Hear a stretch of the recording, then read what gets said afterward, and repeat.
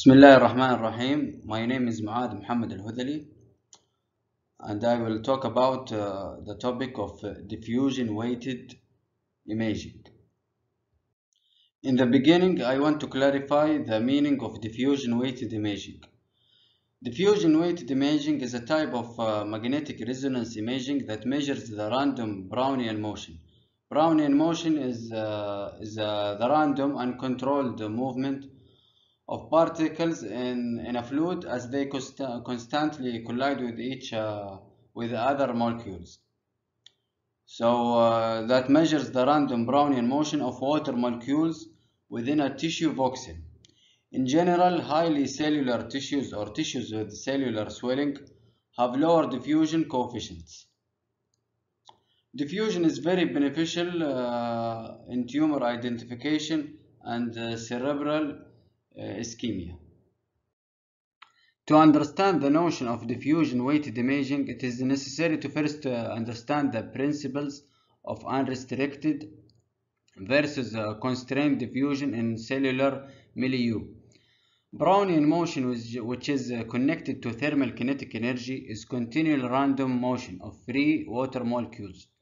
Water molecules movement within the cellular milieu, on the other hand, is inhibited by their interactions with cellular uh, compartments uh, such as uh, the cell wall and intracellular organelles. In other words, the degree of cellularity of the tissue is directly related to the degree of limitation in water molecule diffusion. Now let's speak a little bit about the physics behind diffusion weighted imaging. So in contrast to the largely free diffusion of water contained within a, container, diffusion of water within brain tissue, for example, is mostly inhibited by cell membrane barriers.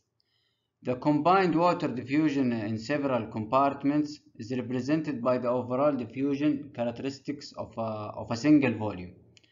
These uh, characteristics can be divided into the following diffusion within the intracellular fluid, the, like that uh, that uh, occur in the within the cytoplasm generally and within uh, the organelles. We also have the the diffusion within extracellular fluid like that happened in intrast interstitial fluid uh, in the intravascular and the lymph, also in various biological cavities like ventricles of the brain. So the more an individual water molecule diffuses during the sequence, the more uh, it is exposed to variable gradient strength and rephased, lowering the amount of uh, information returned. This, uh, this uh, takes place on, on a much uh, smaller scale than a single vo voxel.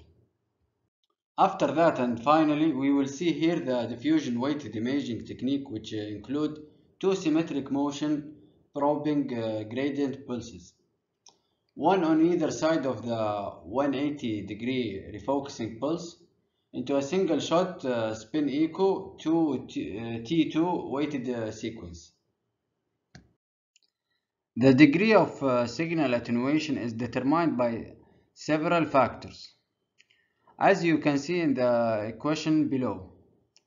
So uh, the signal attenuation is equal to uh, the initial signal attenuation multiplied by exponential minus b multiplied by d, where SI note is uh, the signal intensity of T of the T2 weighted image with no diffusion gradient applied.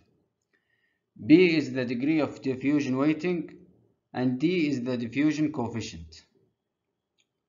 Um, that's it for my presentation. Uh, if you have any question, please uh, feel free to ask.